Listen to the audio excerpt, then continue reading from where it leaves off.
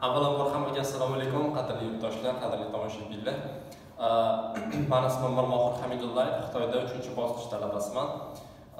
Hozirgi videoyim ya'ni man olmoqchi bo'lgan video ozgina o'tirib youtube ijtimoiy saytini tekshirib chiqqanimda rus tilida xitoy tili o'rgatish bor ekan. Keyin o'sha ingliz tilida xitoy tili o'rgatish bor ekan. Xullas juda ham ko'p tillarda xitoy tili o'rgatish bor ekan lekin aynan o'zbek tilida o'zbekzabo yurtdoshlarimiz uchun biron o'sha videorolik man topolmadim ya'ni xitoy tilini noldan boshlab biron dars qilib chiqarganlar shuning uchun bugungi videoyimdan boshlab xudo xohlasa mana shunga qo'l uradigan bo'ldim xudo xohlasa sizlarga grammatika taraflama kelgan so'z yodlash yo bo'lmasa o'sha koyu deydiyu speaking kabi shu usullarni o'zim bilganimcha o'zim qo'limdan kelgancha va o'zim boshimdan o'tgan metod bo'yicha man sizlarga o'rgatishga harakat qilaman shuning uchun xudo xohlasa sizlarga video yoqadi degan umiddaman e, kerakli ma'lumot berayotganimdan man ham o'zim ham xursandman. E, bo'lmasa boshladik.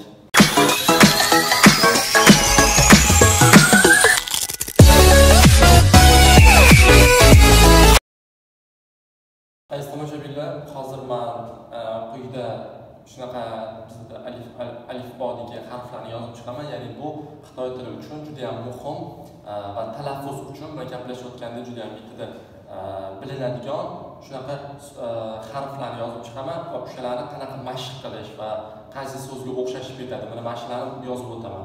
Ya'ni ulardan tashqarisi odatiy hol. Ya'ni masalan a b d e bo'lsa u oddiy oddiy harflar demoqchiman qolganlari bo'lsa o'sha aynan juda yam katta e'tibor berish kerak boshidan degan.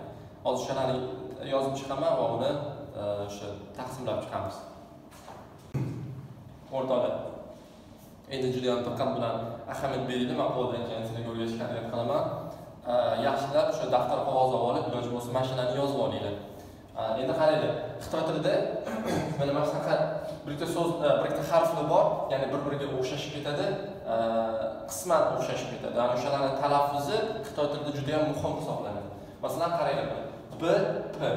Qaranglar man bunaqa qilganman bu yoqda ikkita ya'ni bir biriga o'xshaydigan anaqa harflar bu yog'iga bo'lsa yerda pinin pinin degani xitoy tilida unaqa qiyin narsa emas pinin degani yozilishi degani. Pinin ya'ni pinin deganida sizlar tushuninglarki yozilishi degan ma'no. Shu ma'noda pinin o'sha biror iyeroglifi pinin iyeroglif yozib o'tirmadim shunchaki tasavvur paydo qilinglar mana bular iyeroglifni etilishlari endi qaranglar. Masalan b p bal pau ahamiyat beringlar buni. Bal pau bular judayam bir birini nima desa bo'ladi? Bir biridan ajralib turishi kerak. Ya'ni buni qo'shib yubormaydi masalan. Э, alohida alohida qilib har bitta harfi ishtirok etilgan holatda talaffuz qilib ko'ringlar. Mana hozir ham o'zingiz talaffuz qilib ko'rishingiz mumkin. Bau pau endi ikkinchisi bor. Ikkinchisi endi muhimroq ya'ni e, o'zimizni ch bilan va q. Bularni nima farqi bor? Nima qanaqasiga o'xshaydi bir biriga qaranglar mana bu yoqqa primer qilib yozib qo'yganman. Mana bu yoqqa mana qaranglar chou ya'ni bu yerda e, xitoy tilidagi yoziladigan pininda yoziladigan ch biz e, bizani o'sha oddiy ch lekin bizda ch deyilsa xitoy tilida k ya'ni og'izni ozgina bo'rttiribroq gapirish kerak. Ya'ni e, shu so'zga ozgina bitta qattiqroq ударение berish kerakda xullas. Chov masalan mana chov chov chov mana xuddichi e, bu tilimni tagida sodir bo'layotganga o'xshaydi. Ya'ni ch portlab chiqyapti. Chov chov и keyingisi bo'lsa nima sababdan q o'xshaydi? Bu yoqda q yozilsa bu ch deb o'qiladi ya'ni xuddi mana masalan biza chivin demaymizu chivin deymiz qanaqadir judayam nozik bitta anaqaga o'xshaydi o'sha qanaqadir harfga o'xshashib ketadi endi chivin deyiladi masalan yozayotganda chivin deb yozsangiz masalan aytayotganda chivin o'shanga o'xshashib ketadi mana tiao deb anaqa qilasizlar tiao bu xuddi anavi e, pastdagi tishim bilan pastdagi labimni o'rtasidagi o'rtasidan otilib chiqayotganga o'xshaydi. Endi tushuntirishim bo'yicha.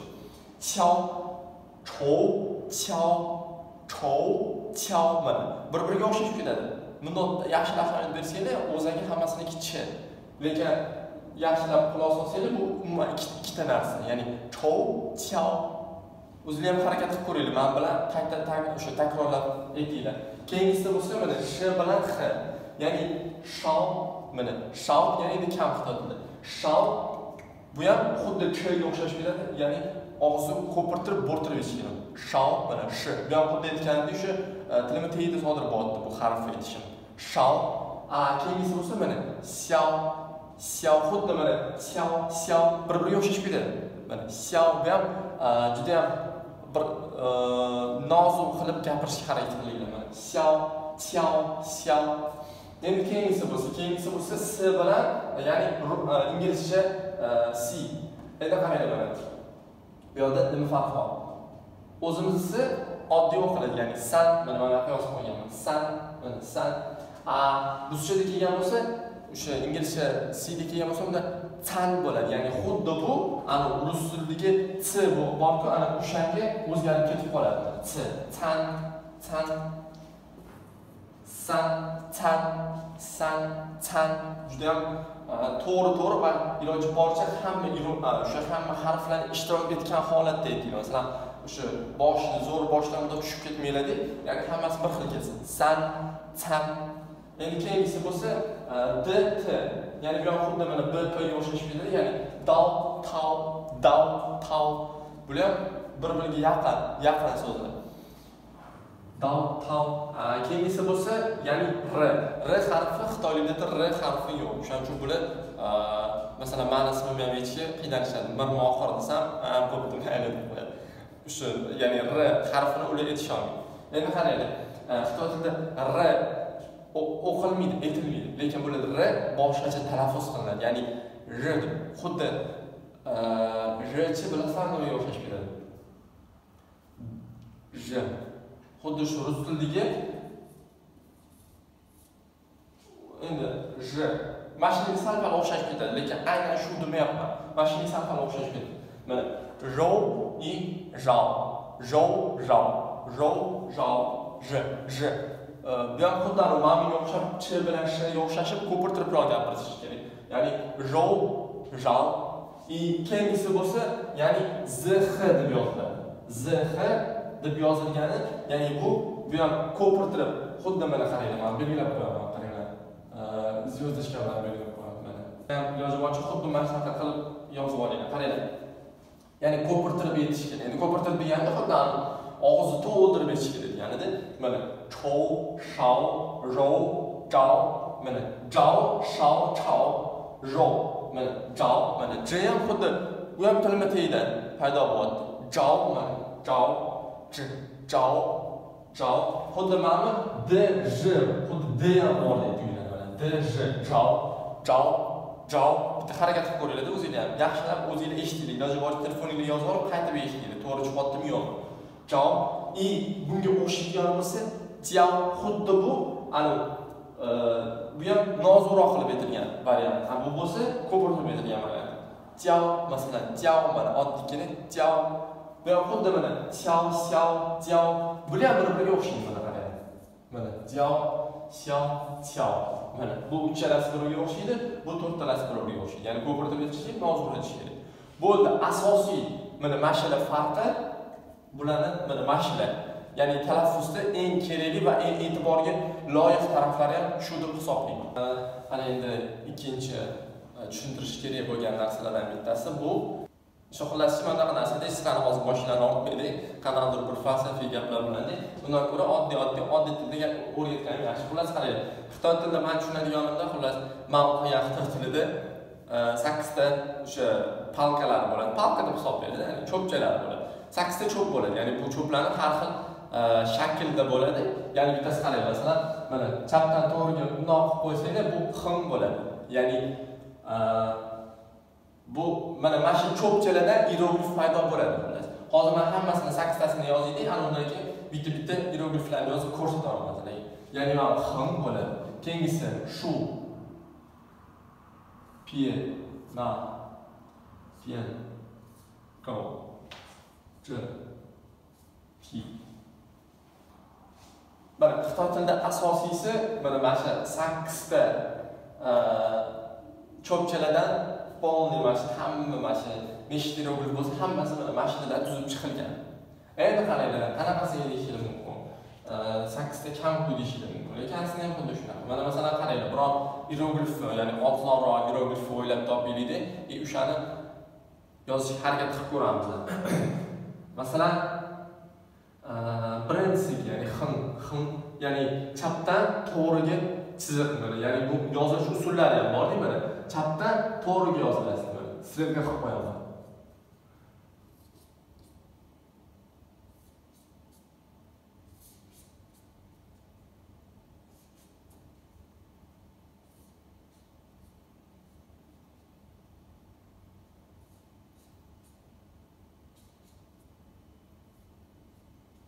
mana strelka qilib qo'ydim ya'ni strelka bo'yicha bundoq olib tushasiz ya'ni strelka harakat o'tgan bo'lsa xuddi shunaqa unaqa unaqa qilib ketaverasizlar bunaqa qiyin emas.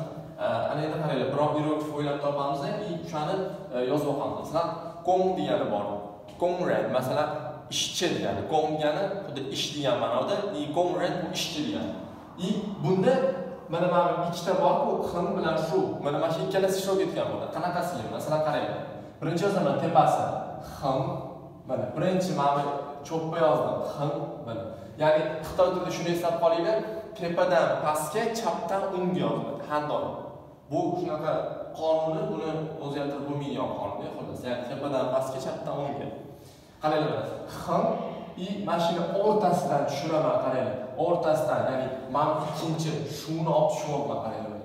Bundoq olib tushyapman и yana bitta pastiga xim deb yozyapman ana bu bo'lsa kong bo'ladi ya'ni kong.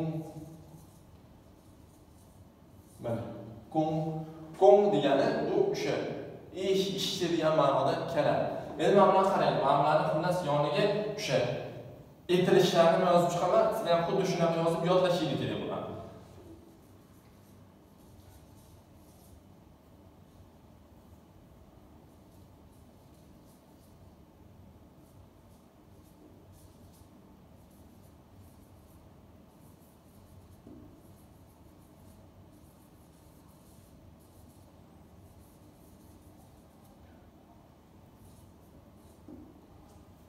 mana hozir yozib chiqdim qarang bilan keyin xitoy tilida shunaqa narsa bor ya'ni e kelsa e deb o'qinglar buni hech qachon e deb o'qimaydi masalan xim deganimda mana h e nig deb yoziladi ya'ni buni heng deb o'qilmaydi bu xim ing bu nimami e ko'rdinglarmi e deb o'qiladi boya esimdan chiqib qolibdi o'zi e deb o'qiladi xim o'shanga qo'shib qo'ysanglar bo'ladi ya'ni bu e bilan i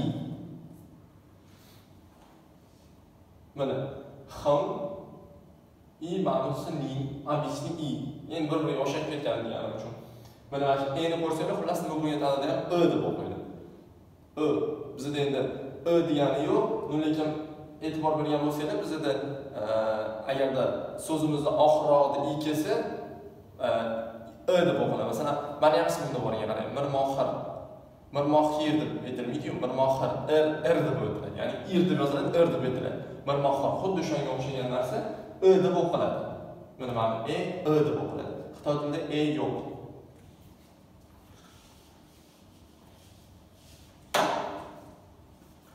Xullas mana ham shu ti ya'ni mana mana shu uchtasi ya'ni endi keyingisiga o'tamiz keyingisi bo'lsa e, pie ya'ni mana shu pie na ya'ni bittasi e, tepadan pastga bundoq bittasi bo'lsa tepadan pastga bunaqasini chiziq mana bu pie va na. Ya'ni bu e, masalan cho'pi bu oddiy tushuncha unaqa biron narsa emas endi qaraylik mana shu ikkitasida ishtirok etib biz odam hieroglifini yasab ko'ramiz mana pie qildim ya'ni pie qilib tushirdim mana mana buni oldim. Mana mana buni tushirdim. Pie ana endi na qilib mana buni beridan bundoq qilib tushirib qo'yamiz bularni ya'ni bu odam degani ya'ni bu ana boyagi r deb aytdimu ya'ni j deb o'qiladi xuddi o'sha bilan yoziladi ran mana ran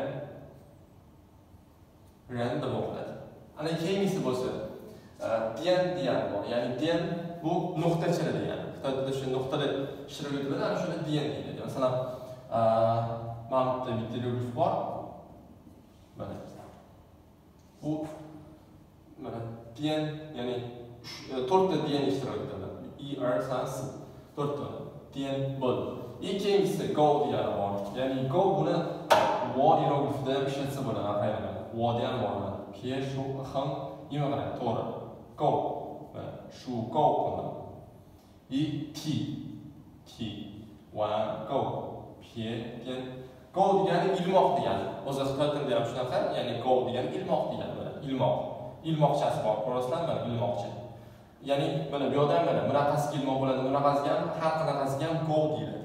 Mana go go ikkalasi ham go mana bundoq tushirdimda ya'ni tushirdim и go qildim ya'ni ilmoq qoldi endi keyingisi bo'lsa keyingisi bo'lsa mana ya'ni ko iroglifi bor ya'ni ko degani shu chiqish degan masalan yo shu chuko chuko xullas og'iz degani ko degani. O'shani yozilishi qarayapti. Shu qilib shular и mana ch mana shu mana mana ishtirok etdi ya'ni bu bitta mana bundoq burchak ya'ni burchak и mana bundoq yopib qo'ydi mana tepadan pastga yozyapman chapdan o'ngga yozyapman oddiygina tushunarli holat keyingisi bo'lsa pi. Ya'ni mana mana bu ham ishtirok etdi mana qarang mana pastdan tepaga bundoq qildim bu ham oddiy narsa xullas xitoy tilining asosiy cho'pli mana sakkizta iborat ya'ni mana aytilishi bilan o'zini yozib oladi mana xuddi yozilish qoidalarini xuddi mana strelka qilib yozib qo'yganman. Man keyin agarda shu mana shu darslar bilan birga o'rganamiz desanglar man xudo xohlasa e, har har hafta ya'ni ikkitadan video chiqarishga harakat qilaman. Chunki bu yetarli darajada demoqchimanda ya'ni bundan ko'pi ham ko'p boshlanishi demoqchiman. Ko'pi ham ko'p и kami ham kam. Чтобы yaxshilab miyada aylansinda bu narsalar masalan har qanaqa joylarda o'sha yozib masalan xayolinglarda tursin mana mana shu narsa keling qaranglar bu bunda iloji boricha qaranglar mani usulim hozircha biza e, mana shunaqa so'zlar o'tamiz ya'ni mm, to'rtta biza biron mavzu topamiz. Ya'ni masalan mening oilam yo bo'lmasa e, mening hobbim xullas mana shunga o'xshagan biza temalarga so'zlar yodlaymizda ana undan keyin biz o'sha mavzu tuzamiz. Ana o'sha mavzuni keyin yodlaymiz и undan keyin she'r uchta she'r to'rtta e, o'sha mavzu.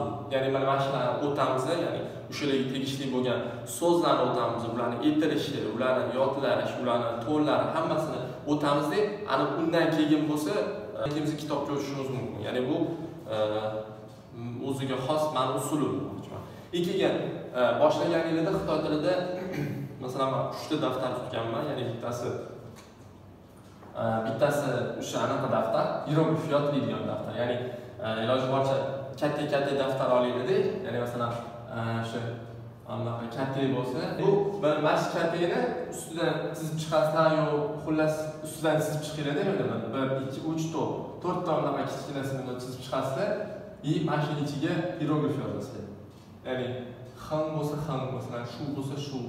Mana shunaqa qilib xullas mana yo to'rtta yo uchta. Vaziyatga qarab o'zinglarni shu xohishinglarga qarab e, chizib chiqasizlar. Ya'ni ustidan e, xuddi mana mana shu holatda ana undan keyin o'shani mm, ichiga yozib chiqasizlar. Ya'ni bu o'zinglarga qulay shu palak parcha bo'lib ketmasligi uchun.